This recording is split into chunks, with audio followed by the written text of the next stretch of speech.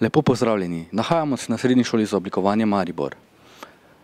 Pred kratkim je bil objavljen seznam nogometnih članov šolske ekipe, kateri imajo danes primerno svoj prvi trening. Zato si bomo danes ogledali ta trening in dobili nekaj izjav nogometnih članov šolske ekipe. by a jumbo jet. It wasn't easy,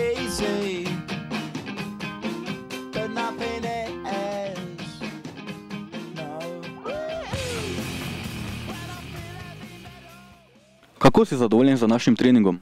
Ja, bilo je vredi, lahko bi bilo boljše. Ampak za prvič je vredi. Si zadovoljen z današnjo igro? Pa, ni bilo ne vem kaj, ampak lahko bi bilo še slabše. Kako dolgo že treniraš nogomet? Ja, nogomet treniram od sedmega leta. Pri katerem klubu pa? Ja, prvo sem bil pri Mariboru, zdaj pri Aluminiju. Hvala. Prosim. When I was young, Niko, kako si zadovoljen z današnjim treningom? Z današnjim treningom sem zadovoljen. Vse smo se na začetku, ko smo imeli športno vzgojo, v redu ogreli, kasneje smo igrali nogomet. Trening je bil sestavljen tako, da smo prvo igrali pepčka, to pomeni, da loviš žogo. Potem pa smo igrali na dveh polovicah, prvo na male gole, pa, pa na velike, pa, pa še čez celotno igrišče. Si bil z današnjo igro zadovoljen?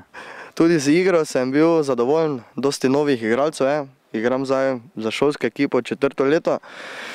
Toti mladi sem videl, da so tudi dobri in upam, da bomo letos te malo boljše rezultate dosegli. Robert, kako si zadovoljen z našim treningom?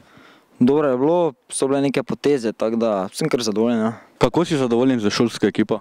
Ja je boljša kot lani, tako da sem kar zadovoljen. Imamo novega golmana, pa novega igralca, tako da upam, da, da nam bo uspelo. Ne? Ka kakšni pa so bili dosežki v prejšnjih letih? Ja, niso bili bili dosežki, ne imeli smo paraze, tako da nisem zadovoljen. eh.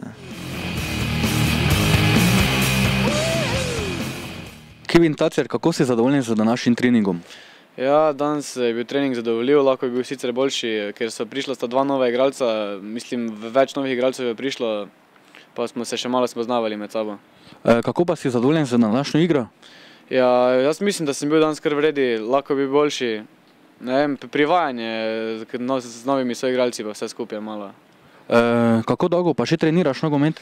Ja, zdaj trenutno ne treniram, ampak sem pa dobil pismo iz, iz Akademije Real Madrid, eh, pa grem zdaj med, med poletnim rokom grem v Real Madrid. yeah.